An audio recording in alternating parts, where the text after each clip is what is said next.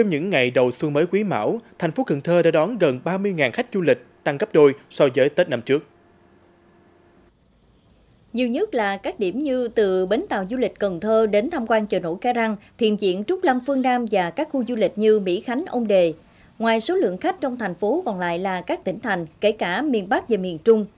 Tại quận Cái Răng, 23 cơ sở du lịch và di tích phục vụ khách tham quan đều đầu tư trang trí đèn qua rực rỡ, nhiều nơi còn phối thêm bối cảnh Tết quê ba miền Bắc Trung Nam để du khách ghi lại những khoảnh khắc lưu niệm. Một số nơi mở rộng kết nối các dịch vụ tour tuyến tham quan phục vụ nhu cầu khách du lịch.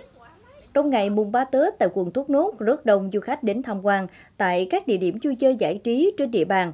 Năm nay, địa phương hình thành thêm một số địa điểm du lịch sinh thái mới. Các địa điểm du lịch được nhà vườn chuẩn bị chu đáo và có nhiều đổi mới nhằm thu hút và phục vụ tốt khách tham quan du lịch.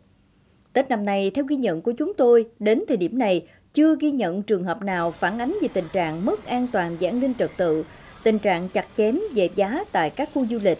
Dự báo lượng du khách đến Cần Thơ trong những ngày Tết còn lại sẽ đông hơn, do đó các mặt công tác đảm bảo an ninh an toàn dịp Tết Nguyên đán cần được tăng cường để người dân vui đón mùa xuân trọn vẹn hơn.